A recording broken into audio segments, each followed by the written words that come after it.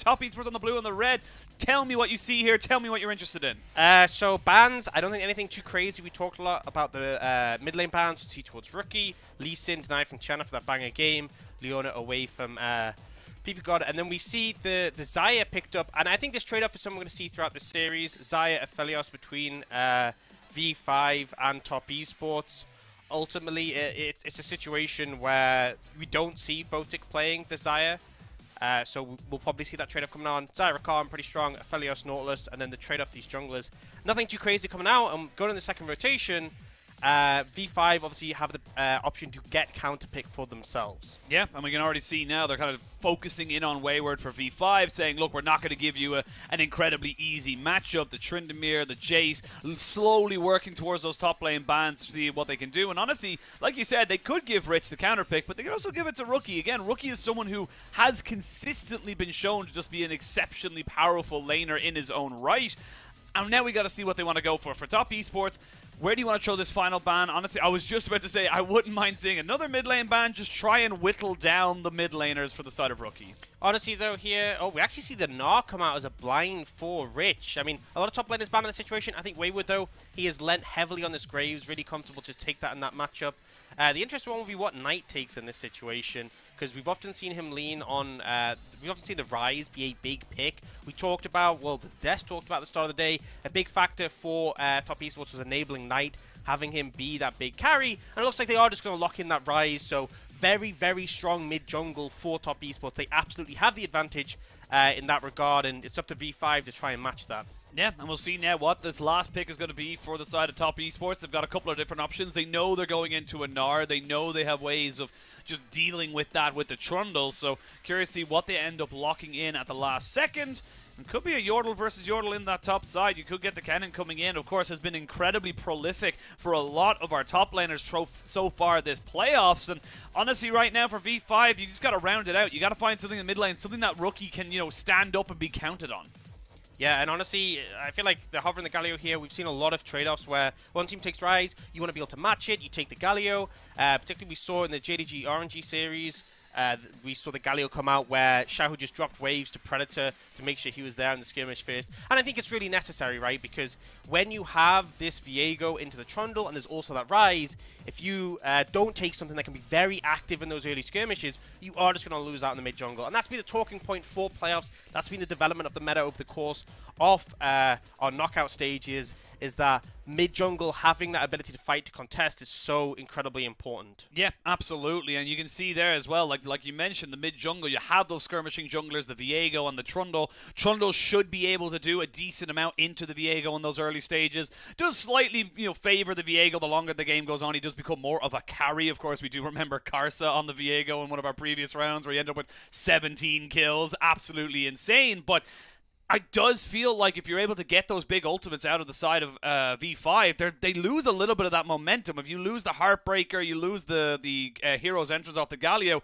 and if you're able to survive that, there should be more ways for top esports to kind of turn the fight in their favor. Well, I say honestly, it can go in the other direction as yeah, well, right? Because you have the quickness from the Rakan, you have the slicing Maelstrom. I think both teams have tools enabled. I do feel like for the side of uh, V5, having the Viego, right, who's able to reset, having the Aphelios, who's a bit more DPS than the Xayah does mean the longer fights they'll, they'll be comfortable. But ultimately, you know, I feel like a lot of top esports games haven't been about who is the better team fighting composition. It's really been about, you know, top esports winning out the early, and then when it comes to later, making some mistakes. So they have the tools here, but I feel like V5 can contest, so I'm going to be really honing in on this early game and seeing who comes out ahead. Yeah, and the great thing about this matchup as well is that we've already seen it. We've seen this already happen so far in the playoffs, and it went all five games. Now we get a repeat of it. Will it be a repeat in terms of the result? We'll have to wait and see, but we are jumping onto the riff for game one of this best of five. Remember, winner goes into the grand final this Sunday, uh, this Saturday, excuse me, to play against RNG. Loser is out and waits until summer split.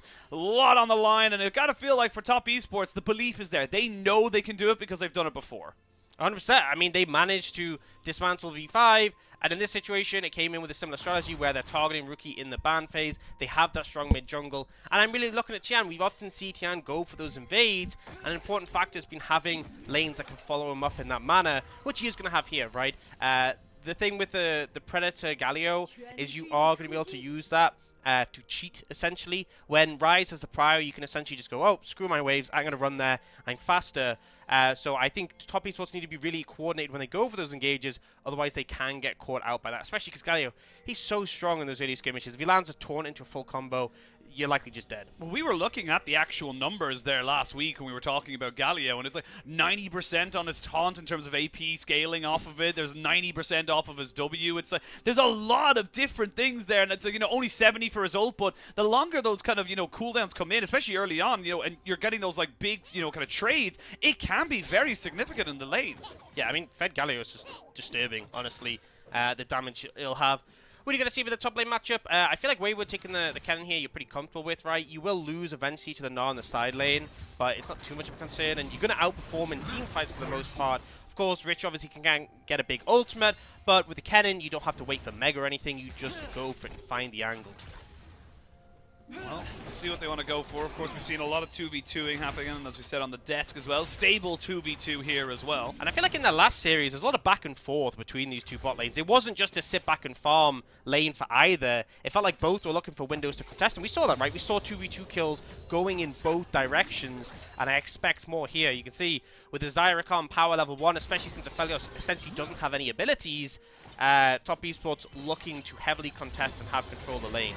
But trade coming in. Trade is coming in. Level 2 for both bot lanes. We do have the Viego coming in. Bacarsa should be spotted out. Knows he's been spotted out, so going to take away that ward and then just walk himself away. But you do have to be very careful. Yes, you are a Xayah Rakan, very powerful in your own right. However, that Nautilus in the 2v2 has a lot of CC. I think they've just stuck themselves, right? Because they, they pushed the lane early, but they weren't able to get the crash because Karsa is there, and they're just getting zoned out with this wave trapped in this position. It is essentially going to bounce back, so it'll be okay. They also have Tian here to offer assistance, but ultimately, already, even just three minutes in the game, you're seeing V5 doing everything they can do to find these mana advantages.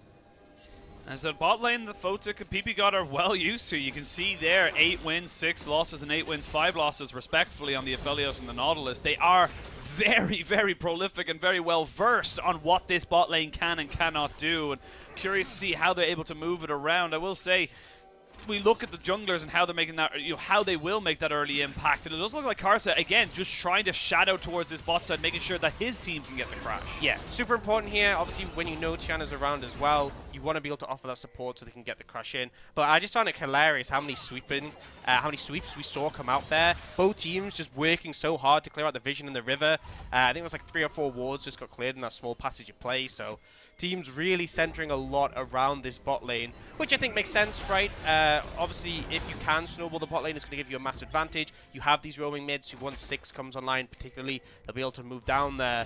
Uh, and both teams knowing that, you know, JackeyLove or Photic are very valuable players to put resources into. Yeah, well, we see PP God was just playing keep away there as Photic wanted to get himself a little bit of a cheeky recall, and now PP God's going to try and do the very difficult task of uh, covering the lane while his AD carries away, maybe try and stop the wave just before it crashes so he doesn't I've lose seen, as much. I've seen so many supports die trying to deal yeah, with it. I was going to say. You're not going to really do it there when there's two of them, but I've seen so many supports attempt that and just flat out die as a result. Obviously, there's a lot of value if you can freeze, but they did get the crash uh, and get the reset, so pretty comfortable. One of the nice things as well is that with the Xayah Rakan, you can have like one of you goes ahead and ensures the, the crash recall. as the other's channel, and then you just come in and you match. Uh, so one of the nice little benefits. A lot of the benefits between Xayah Rakan, I feel like have been toned down over time. Uh, the power they had on the level 1 together, uh, a lot weaker than it used to be. But there's still things like the longer uh, dash range on your E to get to your ally.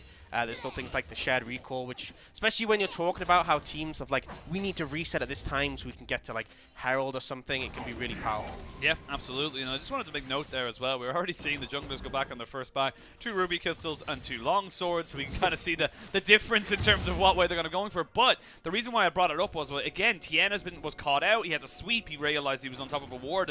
And it is just this constant battle of figuring out where people are, but they don't know where Rookie is. And it's going to be a bit of a problem here for Mark. He can't get the dash away, but can he get himself off? No, I don't believe he can. That's first blood to V5, and that was just smart macro moves. Yeah, I mean, really nice roam coming out from Rookie, right? Manages to find the opportunity, the extra speed from the Predator, and even hopping over the wall. And then the CC layering. It's actually very hard to kill a Rakan.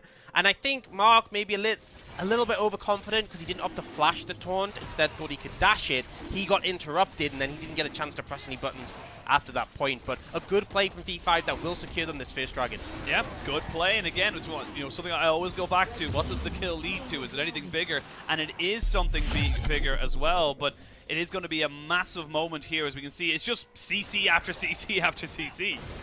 Yeah, and there, like he goes with the dash, gets interrupted so he doesn't get to Jackie Love. If he'd flashed it, he would have survived. But I can completely understand it, right? Especially when you're with a Xayah, you have the longer range dash. You're going to try and uh, maintain your summon if you can, but a good proactive play. And so far, we talked about the mid laners trying to get enabled on the map. V5 are first to do it, but there was a cost. You look at the mid lane CS discrepancy, a difference of 60. Oh, Photic, he's going to probably have to lose something here. Possibly Oh, his no. flash and his heal, but yeah, going to have to use it. He's caught between a Rakan and a giant ice pillar.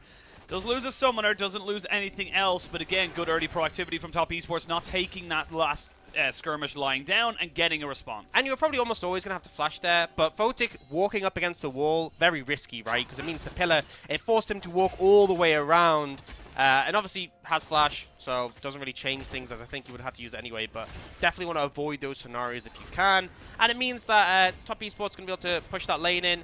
CS discrepancy is still in favor of V5's bot lane. Obviously, it's even when you look at the scoreboard, but there is a way for Photic to pick up. But as I was saying before, is a, a loss in the mid lane for Rookie. When he goes for those roams, when he doesn't necessarily have Prio and he's using Predator to cheat it, he will lose out over the course of the game. It's kind of crazy as well. We're seven and a half minutes in. It's only been the single kill, but it has felt like the pace of the game has been rather rapid. It feels like we have seen quite a few smaller moves just kind of being answered and, and pushed and pulled away. So right now, it is going to be more on top esports to try and, as you say, make those big level sixes work. You've got access to the Slicing Maelstrom, the Realm Warp as well, big global ultimates. Of course, you have got the same on the other side, but it is going to come down to who can execute on these ultimates better in these team fights.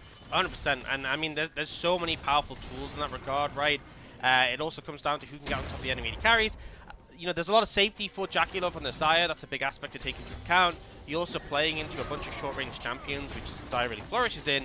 Uh, Oh, we're going to see it engage here to get the dredge line. Good feathers there from JackeyLove. stops anything else from coming out. I was a little worried for Mark as there was, uh, you know, a little moment there where maybe a Moonlight Vigil could come out, but they're totally fine. Like you said, very safe in the 2v2, the Xayah Rakan, regardless of everything that got mitigated from their release. They're still a pretty powerful bot. And that's the thing, right? It's so hard to engage in Rakan because he doesn't have ability. It's also hard to engage in Xayah because of the feathers. Now, we do see Top Esports setting up this herald on the top side. They have mid prio to lean towards that, but we can see already the bot lane and V5 are walking over. So Top Esports, they need to get out or get this very quickly or they're going to get collapsed on. Oh, they got to be so careful right now. 3,000 HP on top of the Rift Herald, and I don't think Tian or Knight can really do this here. Wayward's being kept away by Rich. They'll land a dredge line. They're going to have the hook as well to try and make it work, and they go over with the Heartbreaker. And top esports are being murdered right now. There's nowhere for Knight to go. He's going to try and roll more, but he gets CC'd, and now Mark's in a terrible position. He has to flash away, and this is a disaster.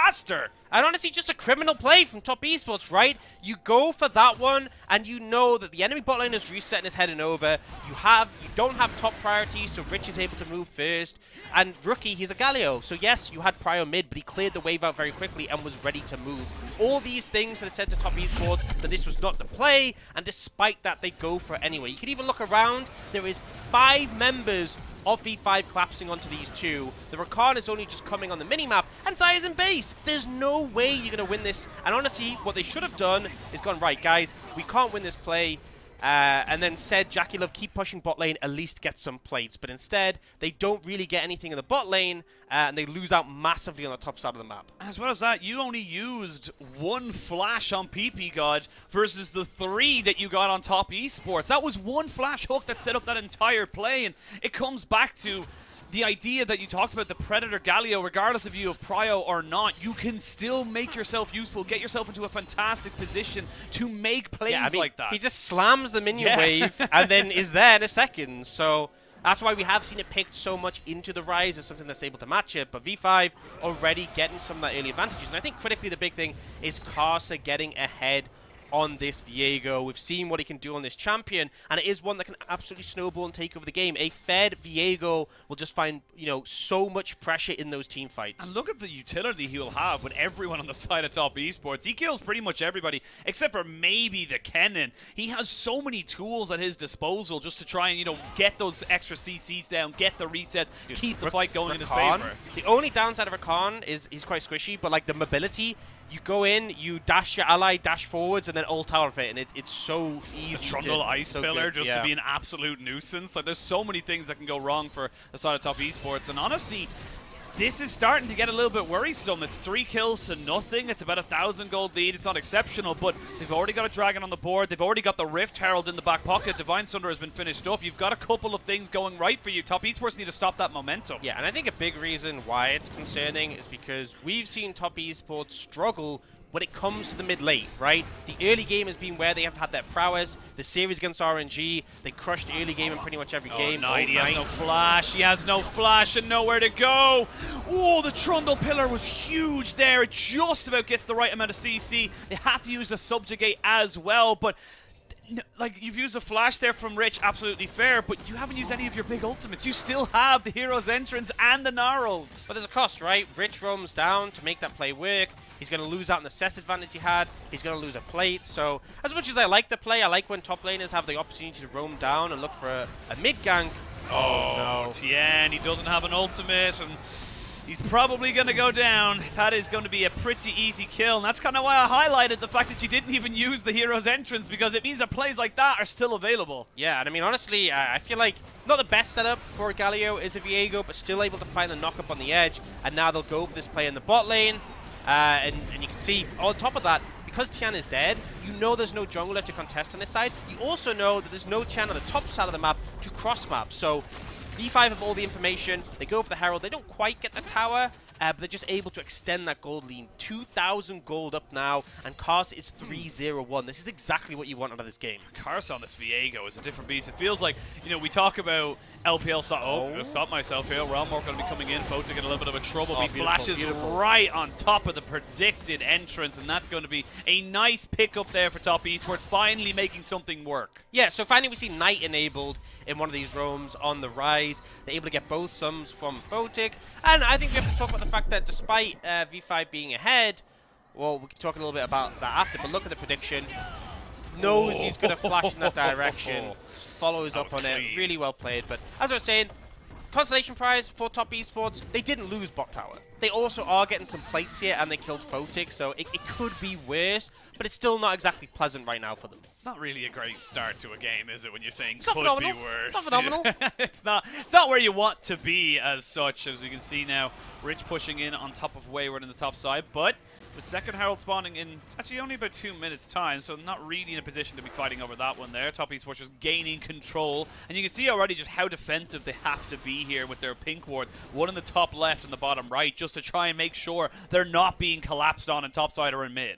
Yeah, and I think Top Esports have the right idea going for a pick like that. I think they can continue to look for those opportunities, especially when you have like a Rakan and a Ryze you can very easily CC a target. Uh, but it's a minute and a half until that Herald. It is going to be two minutes until the Dragon, and that is something that is concerning. V5 already stacking up those Dragons. Here's a Cloud Soul. I don't think it's like, you know, absolutely spectacular for V5, but it's still a pretty powerful one. Uh, especially just a flat movement speed can make a lot of difference. If there's like a Kennen running at you, can help you get out of, away from him and out of the slicing Maelstrom. But I feel like Top Esports would, would be the team who'd love a Cloud Soul are quite a ways away from it right now. Yeah, absolutely. And again, this is the thing with V5. You know, we talked about how many, you know, the good resetting, you know, setup they have for themselves on top of the Viego, but they are no spring chickens when it comes to those five to five, you know, back front to back team fights as well. They've got the engage with the Gnar and the Galio. They have ways of making these work for themselves. And with the way the map is kind of shaping up right now, it does feel like V5 are going to be a little bit more favored the longer this game goes on. We do see towers taken across the map, right? V5 make the call to sacrifice that bot tower, which I really love because the next objective is that second herald, right? So they sacrifice bot tower, uh, Rookie leans up towards top, they get that top tower, and the rest of the team is all grouped around the second herald. So you can see if you look at the minimap, so much vision already on this top side. It's going to be very hard for top esports to move in and contest this neutral objective. Uh, and with Rookie having TP, he can just grab that bot wave and then move over. So you know, top esports have a choice. They can either try and move their vision to the bot side, but the problem is Dragon is like 50 seconds after the Herald, so V5 should be able to contest anyway. My question is, are top esports going to try and force their way in here? You see PP God already fishing in vision for a potential pick. Well, it's going to be V5 starting it off, and honestly, with the position of uh, Tian right now, I don't think Top Esports want anything to do with this. So this is, again, a third neutral objective in a row going over to the side of V5, and they are starting to take over the game. And this is what we loved about V5 during the regular split. This is why V5 were, honestly, a lot of people's favorites coming into the playoffs, because they find these early game advantages, and if they do find them, they just take over the game. It just feels like they're just constantly going from strength to strength. And now we have to hone in on the next objective, right? Top Esports opted out of the uh, Herald. They opted towards the bot side of the map. You can see they got some deep vision. That ward in particular at the top right of your screen is one I want to highlight. That would be perfect for a Kennen flank. So, V5 are likely going to throw down the Herald mid to get priority and then move into the river, and that's where you set up for a potential flank from Wayward, where Top Esports can look to find the Dragon, although it looks like V5 a little bit slow on this one, so Dragon will already be started. They're going to go for right now, though. PP God now just saying, look, I'm a, I'm a Nautilus. I've got plenty of tank stats there. Rich trying to build up the Mega Nara. There's a TP flank on that ward. TP's coming in, but it's stolen straight away. V5 now on Soul Point. They get in with the Hero's entrance as well to get that little bit of magic damage shield. They try to go in with the quickness mark, not quite taking the damage. Has to flash away. The Moonlight Vigil goes completely wide, but the resets are coming in. The Viego is strong. The mobility he has. Honestly, this feels like it's V5's game. And Top Esports try and cheat, right? I said they should back out of River and then they should go for the TP flank instead. Oh, they're still looking for more though. Ah, PP God goes a little bit too far forward, but does have the stasis to keep himself alive. There's the slicing Maelstrom, but it's not really doing much. These massive health bars, they have a realm warp, but can they get people out? They can only get one, and there's no tower there for Knight. He's not got flash either, and they're going to keep pushing forward. They're going to keep getting the advantages, keep getting the kills. Top Esports are routed. Yeah, crushed in that fight. A 4,000 gold lead 4v5, three dragons in hand, and they're looking to push and continue that momentum. Top Esports made some criminal errors there and are getting punished for it. Oh. Rich looking. Yeah, he still has the ultimate, and there's no flash, no ult. Oh my god, it's a disaster for Top Esports. That's putting it lightly. Yeah, it's going from bad to worse. Honestly, it feels like, you know, they lost the dragon. That sucks. They lost a couple of kills. Okay, that's pretty rough and then they lose more and more. They lose uh, so much. They lose a tier 2 on the bot side as well. It's just completely falling apart. And I think this fight could have been a lot better. So they start the dragon, and the problem is that means they get engaged on instantly. And if you look at the TP, it's too far away. What I wanted was for them to let V5 move into the river, river, then you look for the TP flank. But because they started the dragon, they got caught up in this fight. And you can just see at the top of your screen, by the time Wayward arrives, everyone's already dead. So it's just completely fruitless, and I think Top Esports completely mismanaged this. It really did, and it looks like here PP God goes a bit too far forward, but he knows he has got the stopwatch. He knows he's got the stasis to buy time for his team, and there's just not the damage right now. And you can see this Kennen from Wayward is like, I want to finish PP God, but also I don't want to be invested in this fight. They know the fight's already doomed, but because they commit there, they just end up losing more and more and more.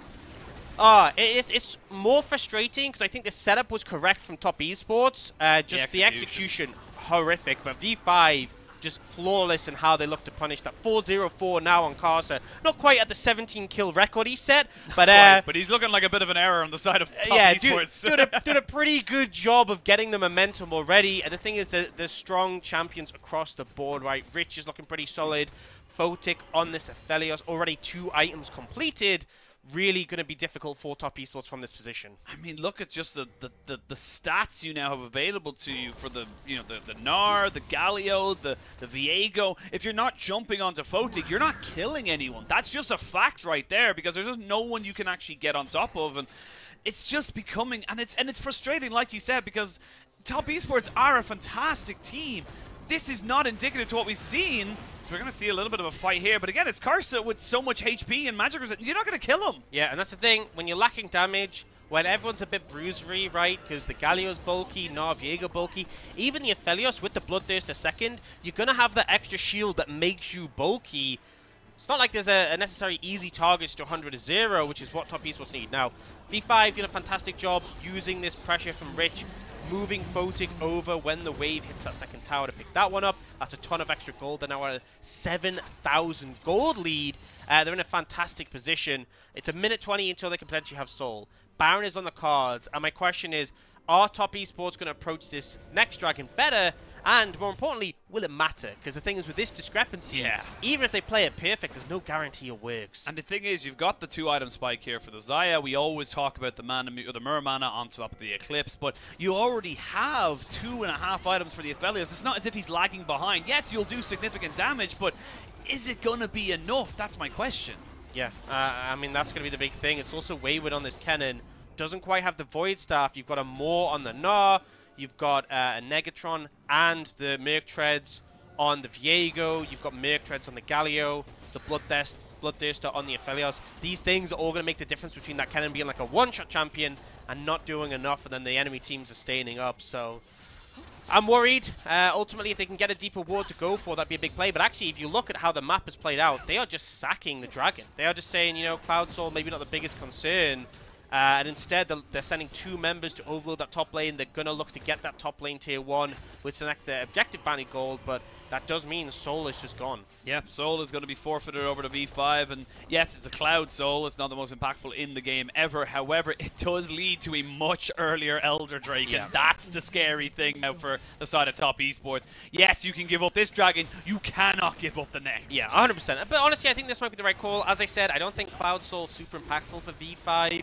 Uh, the movement speed is nice, but it's not exactly a game you changer. take whatever stats you can. Yeah, uh, and, and ultimately for top esports, you only get one more fight. I think if you lose another fight, the game probably will just end. And if it doesn't just end, you will lose shortly after. So you have to really pick your opportunity well. And the critical thing I'm going to be looking for is flank angles from both the Kennen and the Rakan. If you can just pop Photic and then hopefully catch, say, Karsa in the mix as well, that's where I can see a team fight working. Because as much as V5 have a massive goal lead, if you insta-kill some of these Fed members on their team, eh, eh, it's a rough one. I'm not saying it's definitely going to work. That is the best odds you have. I mean, when you're at this stage of the game, you you gotta hope for mistakes as well. You gotta hope for a misposition or someone just misunderstands how much CC is being layered down or whatever it is because you are at such a disadvantage right now in the of top esports and you just need time and money to get yourself back into it. And my concern is we have a stopwatch on the Viego, we have a Zhonya's on, on Rookie,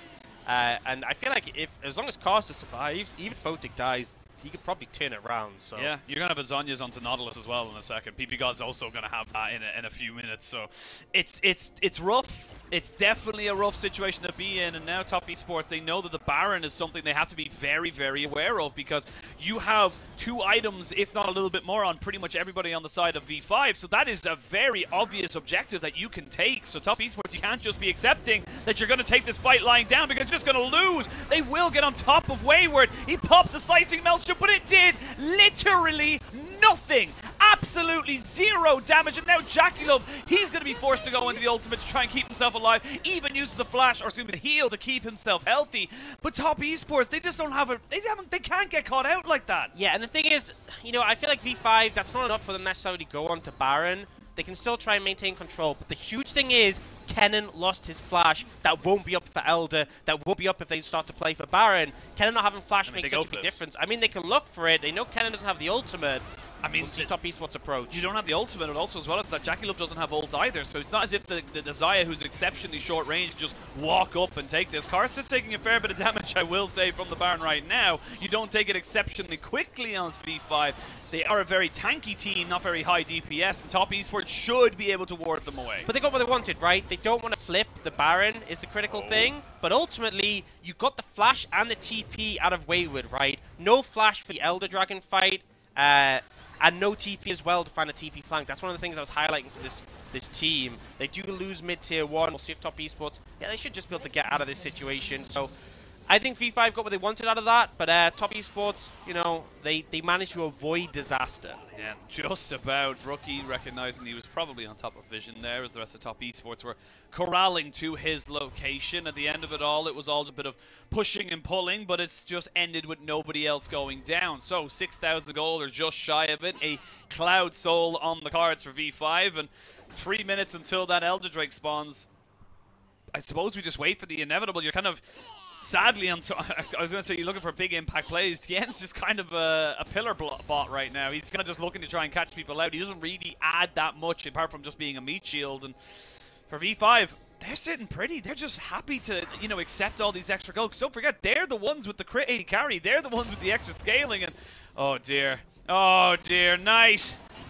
Sorry, sweet prince, you shall be falling down and shall not be coming back here. He will try and maybe just run away. He is very tanky. There's not a huge amount of CC, but there is enough to stop him from getting that. And took a while as there was two very tanky members of V5. They eventually get the kill, and this has just been the, the honestly the story of the game. And he played as well as he could, right? He waited for the CC to be used before he ulted, but the W cooldown so low for Karsa, uh, just pretty difficult to avoid. You can see the gold graph on the side. Uh, substantial advantages between the top and 80 carries.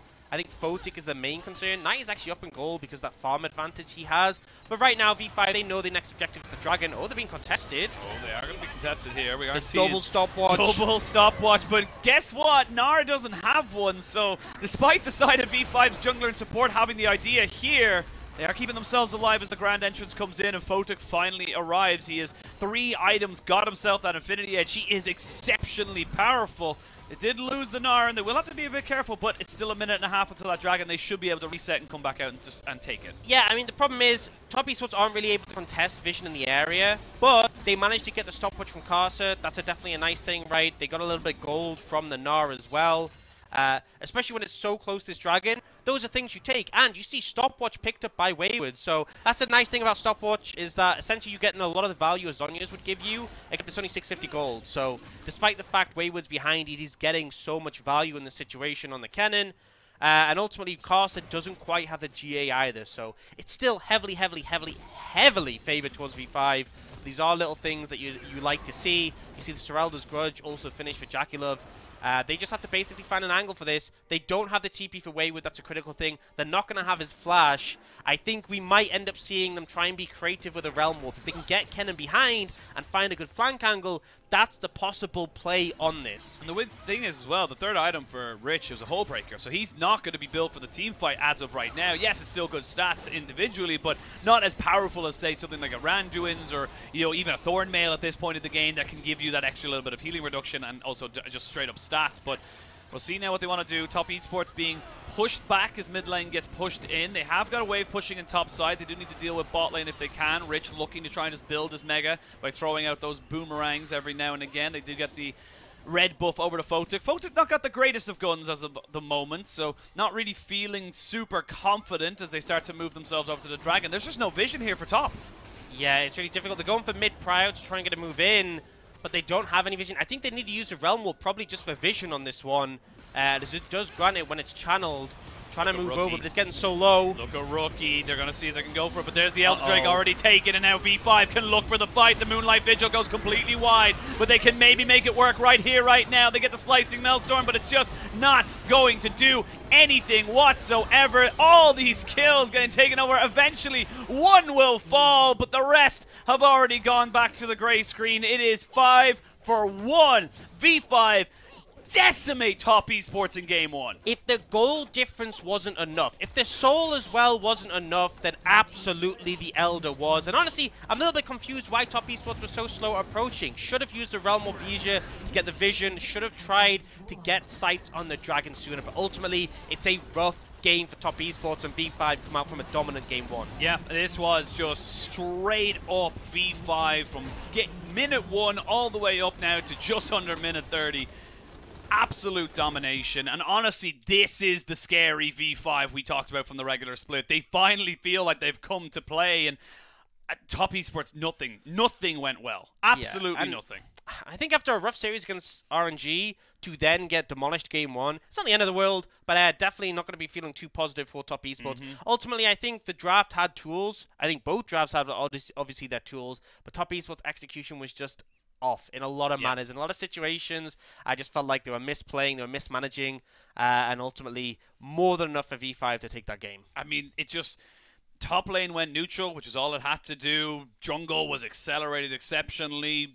Rookie was doing rookie things and, and not just only, you know, affecting his own lane, but affecting everyone else's. And it feels like once you have agency, we talk about it a lot, but agency is just one of those words of when you when you are given the tools to actively change things around the map. V5 just look comfortable. They look like they know what they're doing, and honestly, they just it's so scary to think that this team, you know, is in the lower bracket because they are just so damn good, with a with a lead or not.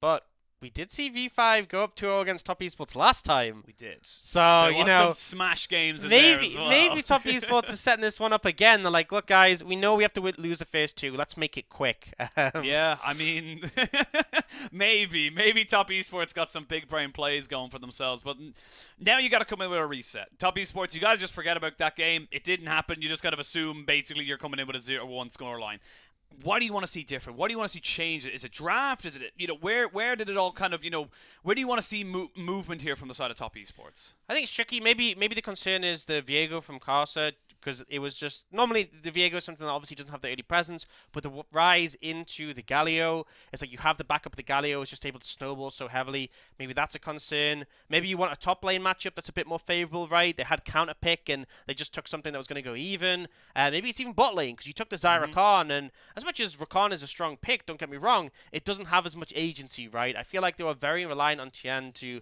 to be the problem solver in these uh, scenarios, but ultimately the Trundle just didn't really find any momentum, right? And we've seen fantastic games from Tian, like on the Lee Sin.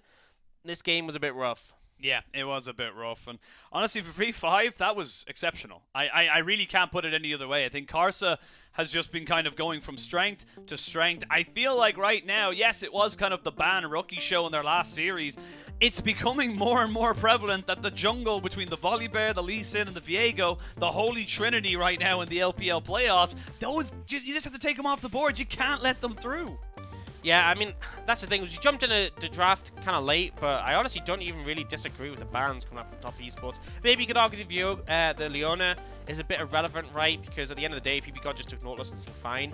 He has definitely um, looked looked to sort of prioritize that Leona quite a bit more, but I still feel like with Leon and the Nautilus, it's not really going to change too much uh, how the game went. So perhaps that's something you could put towards the Viego. Perhaps even you ban the Aphelios, right? Because that's one of the things is that Photic doesn't play the Xayah. So it either forces them to ban the Xayah, in which case maybe Arya or Lee Sin are available, or if you do, if they do leave the Xayah open, then you have a big AD carry advantage. So yeah, you know, a lot of questions there, but uh, ultimately you can see from the goal graph, V5 just completely dominant, and then it was like, you know, gradually increasing the lead, and then boom, massive increase. Yeah, you can see it just at like key fights where it's like, and more, and more. It just kind of like free falls after that point. I will say, JackeyLove did, you know, good damage, but it doesn't matter when you're against Uber tanks like the, you know, the the Gnar, the Galio, the Viego, who can just, and the Nautilus, who can just tank up that. If it's not going onto a key carry, doesn't really make a difference. And yeah, again, this is going to be a bit of a, a, a, tough one for the side of Top Esports. I want to see what they're able to kind of bring back. But for V5, this is perfect momentum for them right now. Just building it up to try and get themselves a what people at the start of this playoffs were assuming was going to be the final between themselves and RNG. But we'll have to wait and see. We are going to throw it to a quick break. And when we return,